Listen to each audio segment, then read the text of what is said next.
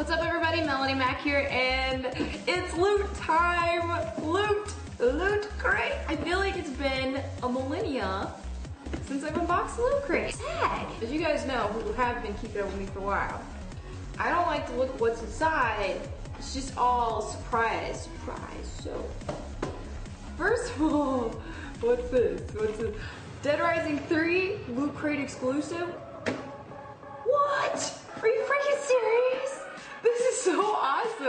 It's like a hammer, chainsaw thingy mixed together. Oh, the beauty of Dead Rising and the weapons that you can construct.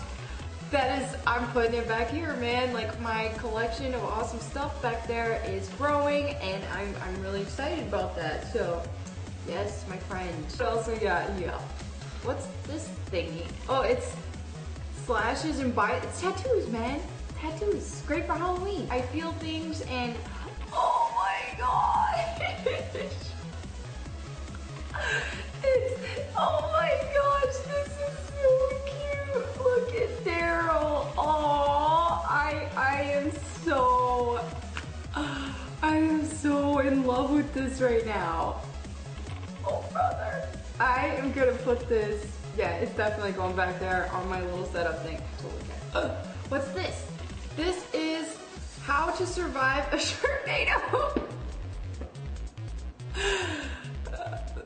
this is amazing. Uh, and other natural disasters. Fight back when monsters and Mother Nature attack. This could save my life.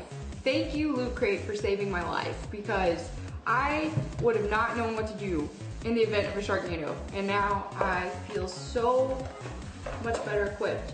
What's this? Oh, The Walking Dead! 132, happiness, sweet. I'm, I'm all about, I'm all about the Walking Dead, man. I'm all about it. All about that business. The last thing is the t-shirt. No way, no way. See, you know, look at it far away, it's skulls, right? That's really cool. But if you look at it close up, it's cats. This is, this is the most rad, cool thing ever. It's cats making a skull.